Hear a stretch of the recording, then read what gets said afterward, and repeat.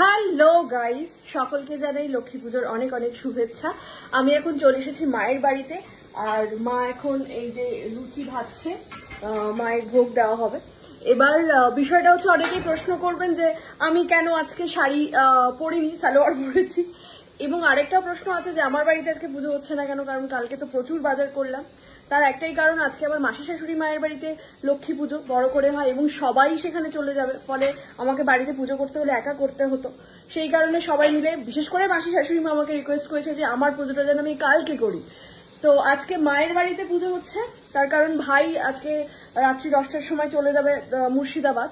সেই কারণে মা আজকে পুজো করে নিচ্ছে। তো এই দেখো মায়ের ঠাকুর। এই যে সুন্দর করে ভোগ টোক সব সাজানো আছে। এখন মা এখানে এই যে লুচি বানাচ্ছে। তো তোমাদের বাড়ি লক্ষ্মী পুজোয় কি কি ভোগ হচ্ছে কমেন্ট করে জানাও। আর কারা আজকে পুজো করছ, কারা কালকে পুজো করছ বলো। তো আমি, ও, যেটা আমি ভুলে গেছিলাম বলতে, সালোয়ার কেন পড়েছি তার কারণ হলো, আমি যেহেতু মাসি শাশুড়ি মায়ের বাড়িতে যাব ইনফ্যাক্ট আমি শাড়িও বের করে রেখে দিয়েছিলাম বাট হঠাৎ করে মাথায় এলো আমি ফেরার সময় সব্যসাচী স্কুটিতে করে ফিরবো।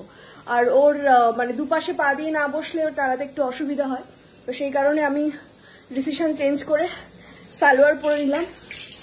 বাট আজকে এত বেশি বৃষ্টি শুরু হয়ে গেছিল, আমি ভাবলাম বোধহয় যা, আমি আর যেতে পারব না। তার সাথে আবার বৃষ্টি থেমে গেছে এখন, আর পড়েছে প্রচণ্ড গরম এরকম আমি প্রচণ্ড পরিমাণে ঘেমে গেছি।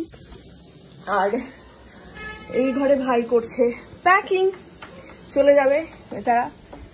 যে জামা কাপড় সব প্যাকিং করছে। টুং, ওই যে ওখানে। তো এবার আর কি করবে মা লুচি ছাড়া? ও, সুজি করবে। মা লুচি সুজি দিচ্ছে ভোগ হিসাবে মাকে। তো আমার মোটামুটি সব বাজার কমপ্লিট হয়ে গেছে।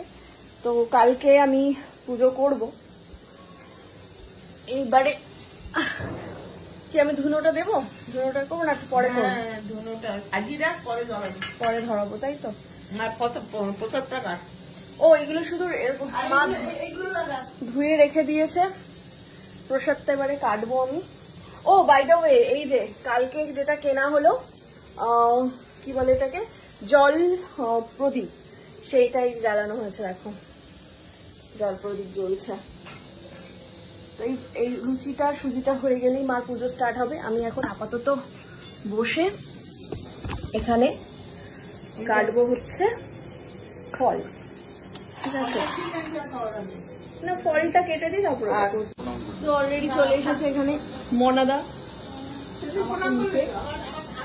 এই যে আমার প্রসাদ কাটা কমপ্লিট আর এখানে মার সুজিও কমপ্লিট এবারে মা চেঞ্জ করে শাড়ি পরে পুজো পুজোয় বসবে।